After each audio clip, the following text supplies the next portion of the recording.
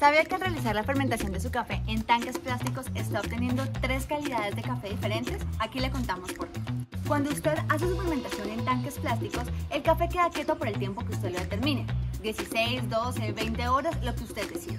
Durante este tiempo, el café va a empezar a desprender CO2, eliminando el oxígeno, y también va a desprender lixiviados, los cuales van a empezar a caer al fondo del tanque. El café que está en la parte inferior del tanque está sumergido totalmente en lixiviados, es decir, que la temperatura en la que se desarrolla la fermentación en la parte inferior va a ser menor a la temperatura en la que se desarrolla la fermentación en la parte del medio y en la parte superior. Es decir, que acá en el mismo tanque estamos teniendo tres temperaturas diferentes.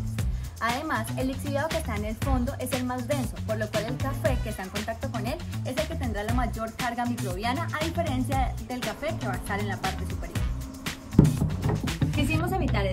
Por eso que en nuestros bioreactores y Biomaster encontrarán un sistema de recirculación de lixiviados con unos aspersores que permiten que los lixiviados pasen por toda la masa del café.